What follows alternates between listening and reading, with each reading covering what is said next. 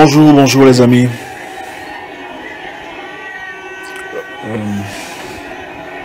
mes frères d'une autre mère. Mes soeurs aussi d'ailleurs.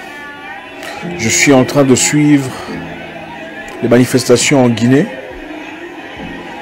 Euh, mes frères guinéens traversent un moment très difficile.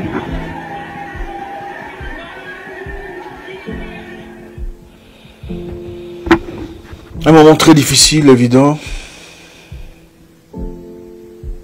Merci à tout le monde, merci d'être là. Euh, nous compatissons avec votre douleur, votre peine. Et nous comprenons.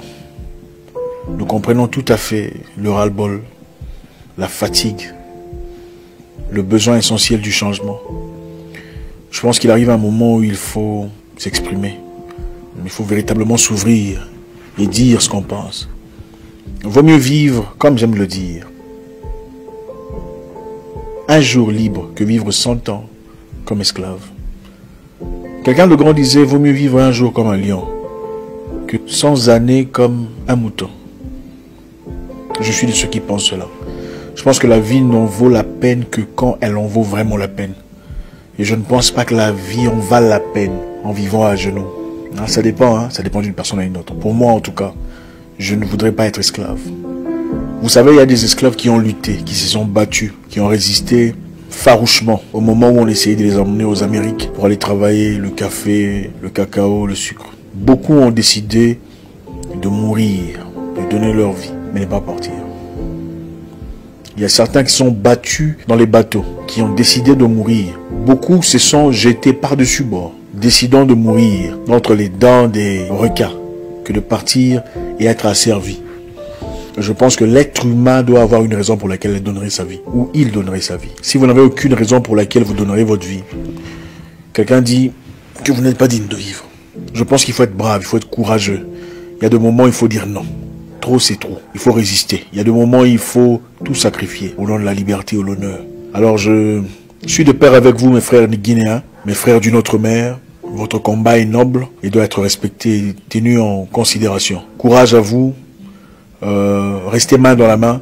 Et je pense que dans des moments aussi sensibles tels que celui-ci, c'est les moments où on découvre ses vrais frères. Hein, c'est en ce moment où on découvre qui vous soutient dans votre combat, dans votre lutte. Comme je l'ai dit précédemment, la fraternité n'est pas seulement une question de papier, question de passeport, question d'identité. La fraternité est une question de valeur, de vision, d'objectif. Je pense qu'une personne qui vous sourit simplement, euh, étant votre voisin, n'est pas nécessairement votre frère. S'il est contre l'avenir de vos enfants, c'est aussi clair que ça.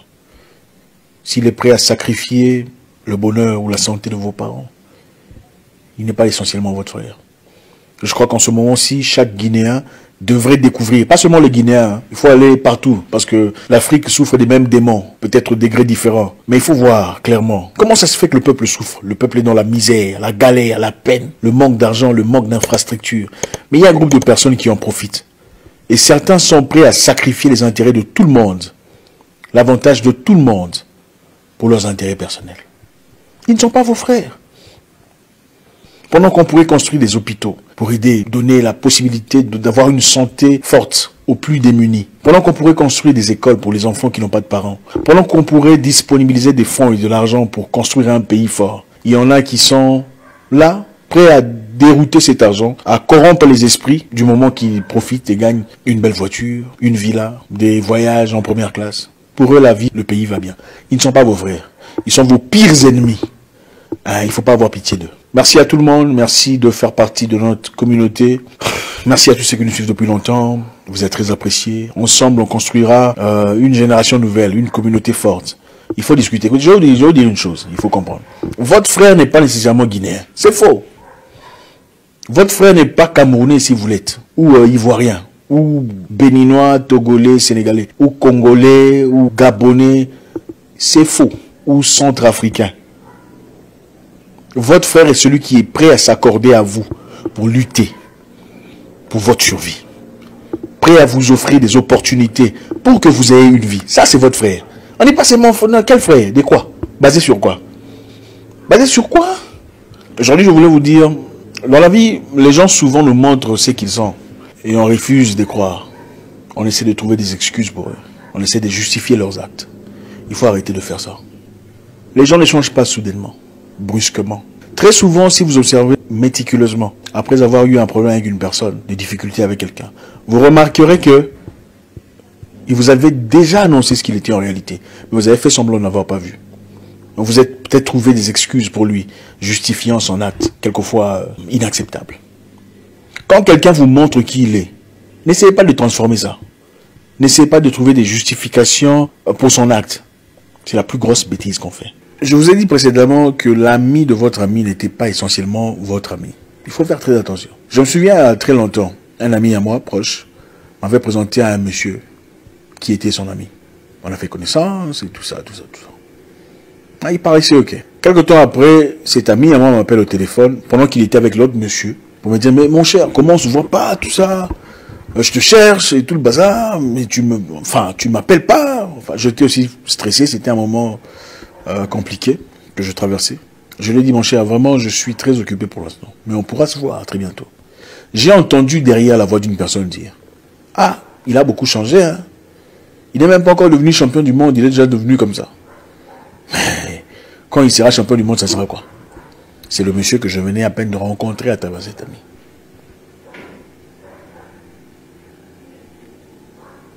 Et intelligemment, j'ai compris.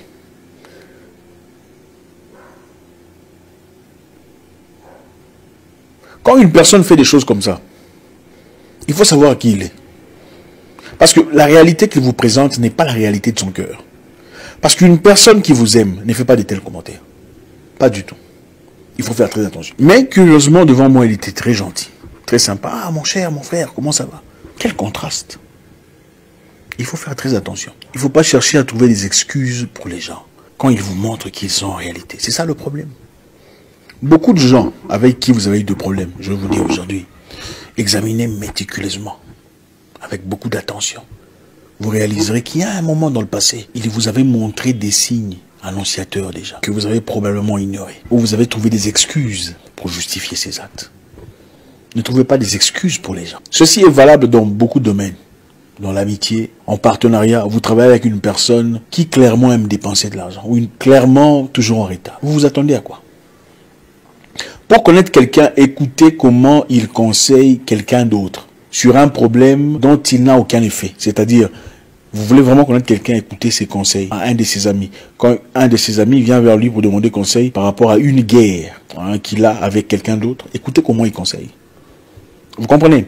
Donc, écoutez comment il est en train de conseiller une tierce personne sur son combat. C'est là que les gens montrent qui ils sont vraiment. Une personne bien lui dira, écoute, euh, tu sais, il faut éviter la guerre avec celui-là, c'est pas bien, après tout vous êtes amis, si vous écoutez, il faut faire ça, tu vois, il faut lui faire ça. Vous comprenez que ce qu'il est en train de dire là, il peut l'appliquer sur vous aussi.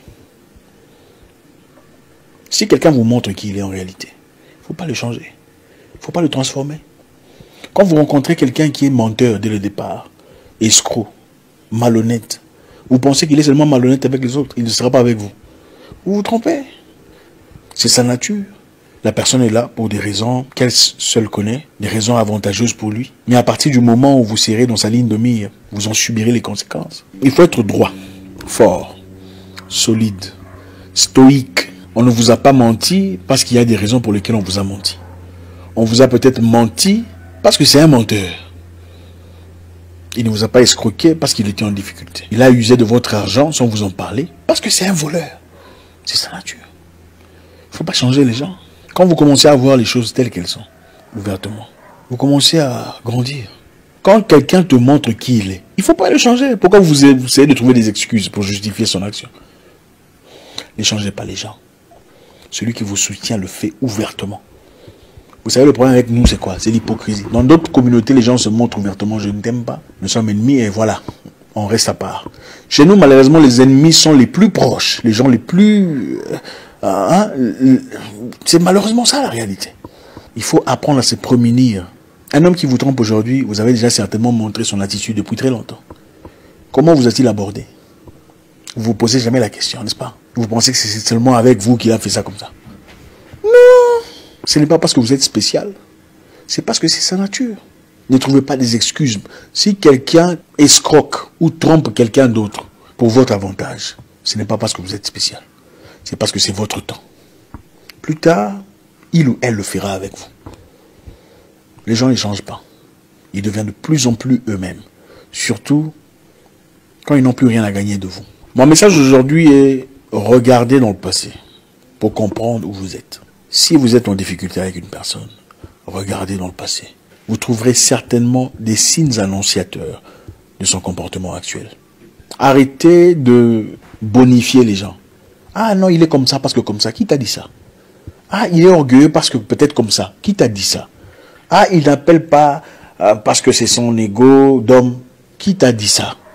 Il est simplement mauvais. Il n'appelle pas parce que voilà, ses intérêts ne sont pas là.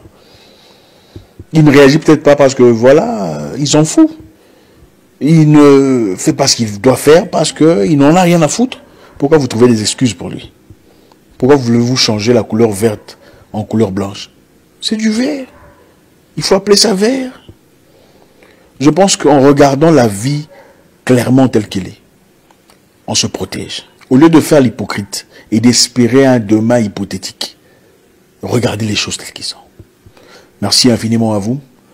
Euh, j'espère qu'on a appris un petit quelque chose, quelque part. Encore courage à mes frères guinéens dans votre combat.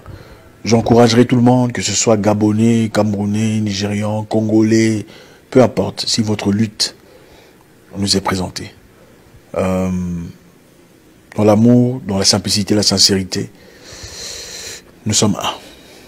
Mon nom est Zach Moukassa, le guerrier noir. Votre frère.